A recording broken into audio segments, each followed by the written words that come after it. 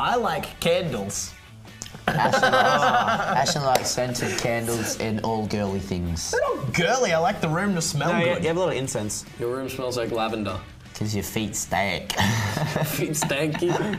You know what you do? You throw my towel on the ground in the shower every day. every day.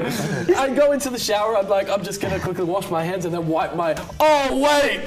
The shower's on the. The towel's on the dirty ground.